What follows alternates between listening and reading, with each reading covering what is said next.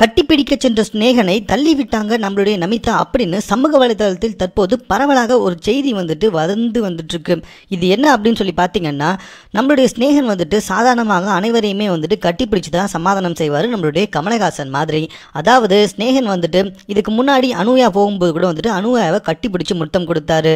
நம்மளுடைய ஜூலியானா அழுதப்போ வந்துட்டு ஜூலியானாவையும் வந்துட்டு கட்டிப்பிடிச்சு முத்தம் கொடுக்க ட்ரை பண்ணாரு. ஜூலியானா வந்துட்டு போங்கண்ணே அப்படின்னு சொல்லிட்டு அழுதுகிட்டே விலகியும் போயிட்டாங்க.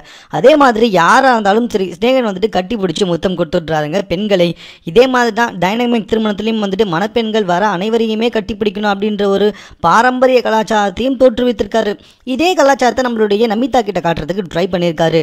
நமிதா ஏதோ ஒரு விஷயத்தில் சோகமாக இருக்க நமிதா கிட்ட போயிட்டு கட்டி பிடிச்சி முத்தம் கொடுக்கறதுக்கு ட்ரை பண்ணியிருக்காரு நம்மளுடைய ஸ்நேகன் ஆனால் நமிதா வந்துட்டு உடனே ஸ்நேகனை தள்ளி விட்டுட்டு இருக்காங்க. ஆனால் காட்சிக்கலை பிக் பாஸ் ஷோலிலிருந்து நீக்கப்பட்டிருக்கு அப்படின்னு பல செய்திகள் தற்போது சமூக வலைதளத்தில் வைரலாக பரவி வந்துட்டு இருக்கு. இது எந்த அளவுக்கு உண்மை அப்படின்றது தெரியலங்க. ஆனால் இது வரைக்கும் இது குறித்து யாரும் எந்த ஒரு மாற்று கருத்தும் தெரிவிக்கல அப்படின்றது தான் ரொம்பவே குறிப்பிட வேண்டிய விஷயம். மேலும் இது போன்ற செய்திகளை உடனுக்குடன் தெரிந்து கொள்வதற்கு எங்களோட சேனலை சப்ஸ்கிரைப் பண்ணுங்க. இந்த வீடியோ பிடிச்சிருந்தா லைக் பண்ணுங்க. உங்கள் கமெண்ட் எதுவும் அந்த அளவுக்கு எங்க கூட ஷேர் பண்ணிக்கோங்க. தேங்க்யூ